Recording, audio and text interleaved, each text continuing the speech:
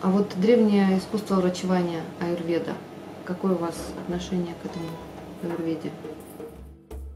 Вообще говоря, аюрведа – это часть веды, э, древнего знания, и, собственно говоря, аюр на санскрите означает здоровье, то есть это знание здоровья, если говорить в переводе санскрита.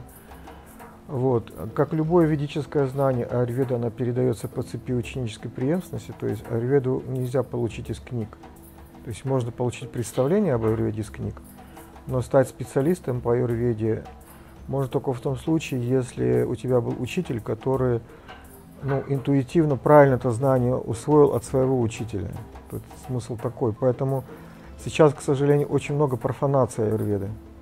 Потому что люди занимаются аюрведическими практиками, но они при этом а, просто обладают книжным знанием, у них нет реального понимания технологий. То есть аюрведа, она, собственно говоря, построена на знании о о том, как взаимодействует начало в человеке. То есть есть так называемые доши, определенные материальные начала э, в человеке.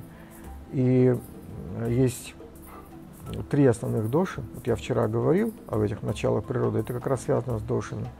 И, собственно говоря, из, из комбинации этих дош образуется конституция человека, его уникальность, именно физическая уникальность, и также психическая уникальность. Поэтому аюрведический врач он с помощью пульсовой диагностики, с помощью определенного он по сетчатке глаза, по определенным другим признакам, он определяет, какая у человека индивидуальная конституция. И также он может определить причину болезни. То есть причина болезни человека, она всегда находится в разбалансировке дож. И поэтому аюрведа, она лечит не симптомы, это не симптоматическая медицина, она лечит именно причину болезни. Точнее, она лечит человека, то есть э, как бы меняет его отношение. Да, то есть разбалансировка дож происходит только потому, что у человека что-то не так с сознанием. И таких аюрведических врачей, которые работают именно на этом изначальном уровне, к сожалению, может быть единицы сейчас во всем мире, поэтому, хотя аюрведа это авторитетное ведическое знание, тем не менее с аюрведическими специалистами сейчас не все так благоприятно.